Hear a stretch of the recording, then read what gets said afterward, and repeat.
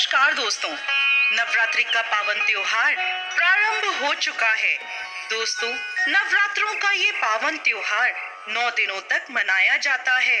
इन नौ दिनों में माँ दुर्गा के नौ अलग अलग स्वरूपों की पूजा की जाती है।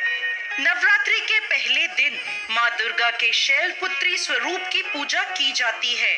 अपने दाहिने हाथ में त्रिशूल धारण किए, बाएँ हाथ में कमल को शोभित किए वृषभ पर सवार नव दुर्गाओं में प्रथम देवी शैलपुत्री हैं, जिन्हें सती के नाम से भी जाना जाता है। माता शैलपुत्री की कथा के अनुसार एक बार प्रजापति दक्ष ने एक बहुत बड़े यज्ञ का आयोजन किया। इस यज्ञ में उन्होंने सभी देवताओं को अपना अपना योग्य भाग प्राप्त करने के लिए आमंत्रित किया। परंतु उन्होंने भोलेनाथ को निमंत्रण नहीं भेजा। जब माता सती को यह ज्ञात हुआ कि उनके पिता एक अत्यंत विशाल यज्ञ का अनुष्ठान कर रहे हैं, तब उनका मन वहाँ जाने के लिए बेचैन हुआ। उन्होंने भोलेनाथ को अपने मन की सारी व्यथा बताई। भोलेनाथ बोले, देवी प्रजापति दक्ष शायद हमसे किसी बात पर रुष्ट हैं, इसलिए उन्होंने सभी देवताओं को अपना अपना यज्ञ भार समर्पित किया है, परंतु उन्होंने हमें नहीं बुलाया, ना ही हमें कोई सूचना भेजी, इसलिए आपका वहाँ जाना उचित नहीं होगा। भोलेनाथ की यह बात सुनकर माता सती का मन शांत नहीं हुआ। पिता के द्वारा किए गए यज्ञ में सम्मिलित होने और अपनी माता और बहनों से मिलने की उनकी इच्छा और प्रबल होती जा रही थी। माता के आग्रह करने पर भोलेनाथ ने माता सती को वहाँ जाने की आज्ञा दे दी।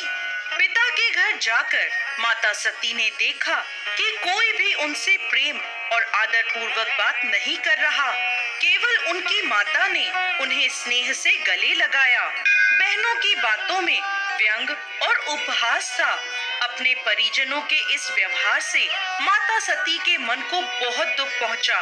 ये सब देखकर उनका हृदय शोक, ग्लानी और क्रोध से संतप्त हो उठा। वह सोचने लगी, भोलेनाथ की बात ना मानकर यहाँ आकर मैंने बहुत बड़ी गलती करी है। वह अपने पति के इस अपमान को सहन ना कर सकी।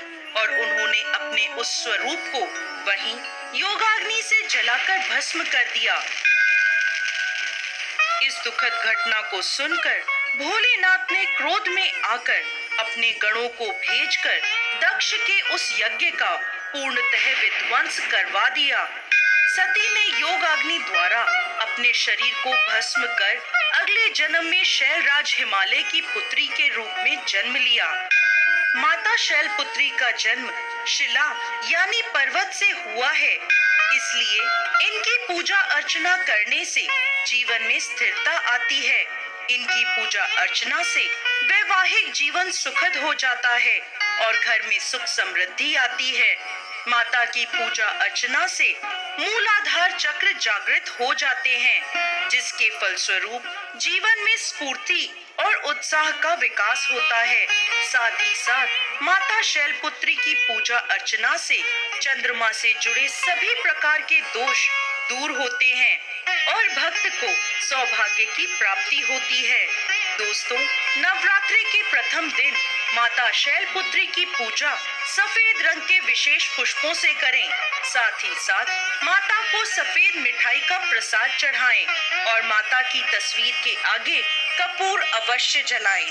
पूजा के बाद माँ शैलपुत्री को गाय का घी अर्पित करें, जिससे माता आरोग्य काया का आशीर्वाद देती हैं और व्यक्ति का मन एवं शरीर दोनों निरोगी रहते हैं तो दोस्तों, यह थी नवरात्रि के प्रथम दिन पूजी जाने वाली माँ शैलपुत्री की पावन कथा।